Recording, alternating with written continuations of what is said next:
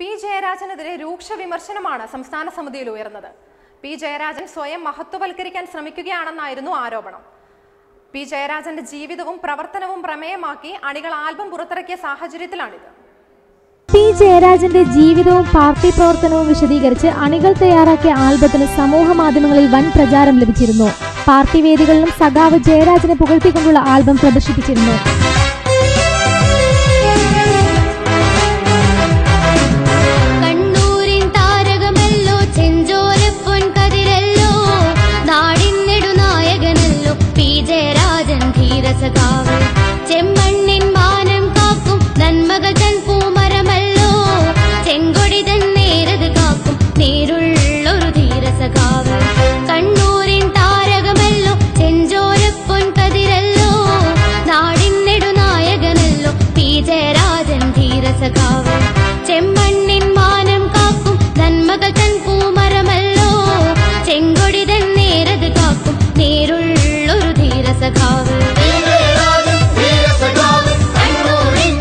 കണ്ണൂരിലെ പാർട്ടി ചുവപ്പ് കുടിക്കുകയിൽ അടിപതരാതെ അണിനിർത്തിയ സഖാവിനോടുള്ള സ്നേഹമാണ് അണികൾ പ്രകടിപ്പിച്ചത്.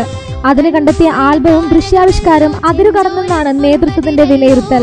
വ്യത്യസ്തങ്ങളായ വീഡിയോ സമൂഹ മാധ്യമങ്ങളിൽ പ്രത്യക്ഷപ്പെട്ടു. നേതൃത്വത്തെക്കാളും വലിയ ജില്ലാ സെക്രട്ടറി വേണ്ടെന്ന് പാർട്ടി നിലപാട് എടുത്തതും അതുകൊണ്ടാണ്. സഖാവ് പി. ജയരാജൻ വിമർശനം സമ്മതിച്ചെങ്കിലും ആൽബം തന്റെ അറിവോടെയല്ല നിർമ്മിച്ചതെന്ന് ഉറച്ച നിലപാടിലാണ്. Top news Kerala Thiruvananthapuram.